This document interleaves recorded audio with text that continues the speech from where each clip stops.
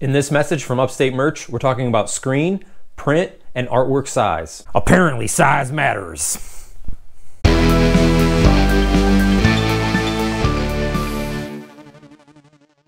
This is a screen. I got this out of my window. Can we use this?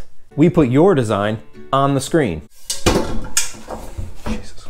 And then we'll push ink through the screen onto your shirt. We use the same size screen for the entire order, which means your print can only be as big as what fits on your smallest shirt. So say you get a youth extra small or a ladies extra small, all the way up to unisex 3X, and say your design is supposed to be a full chest, a full chest on a youth extra small might only be six to eight inches wide. It may look a little small on the big shirts and big on the small shirts. It is possible to do a separate print size for smaller garments, but it's technically a separate order because it requires us to create and set up a different set of screens. Meaning you'll have to get at least 12 pieces, of course, because that is our minimum order. That makes a baker's dozen. At Upstate Merch, we have standard prints and oversized prints. Our standard print max dimensions are 12.5 inches wide by 16 inches tall. It's a rectangle. Rectangle! Like the print space on a shirt. I'm wearing a large shirt. Here's the area taped off. 12.5 by 16, that's the max standard. That's the limit. limit. Your standard print doesn't have to be that big. Sometimes bigger isn't better. The hell it ain't. You seen the lift kit on my truck?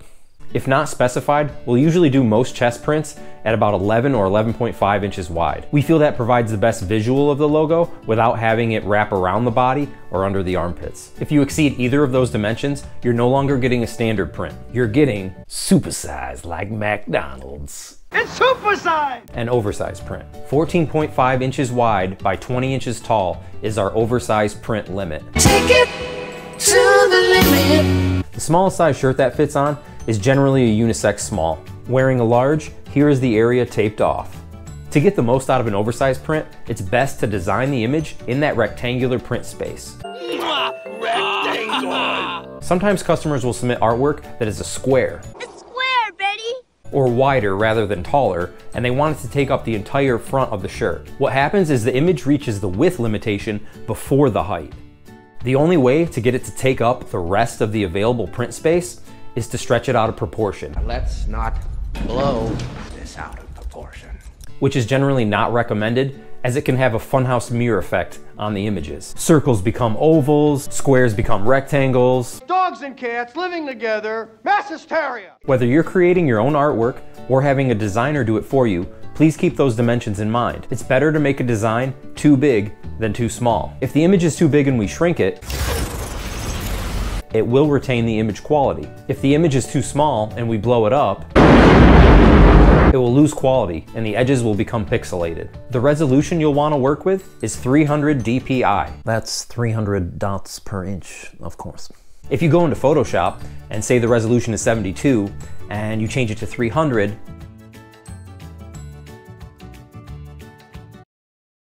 that doesn't work. You're not fooling anybody. Fool me once. Shame on. You can't get fooled again. For the file type itself, it doesn't matter much. JPEG, PDF, ESP, AI, PNG, those are all good, as long as the image is as big as you want it in inches at 300 dpi. If you aren't sure how big you want your image on your shirt, it's not a bad idea to measure it out on your own shirt with a ruler or a measuring tape. If you know nothing about digital artwork, Don't care too much for computers. I sure am good with a brush. we can try to help you. We do some artwork here in-house, and we work with several artists that are much more talented than we are that we can connect you with. So remember to come on down to Upstate Merch. Upstate Merch to down on come to remember so.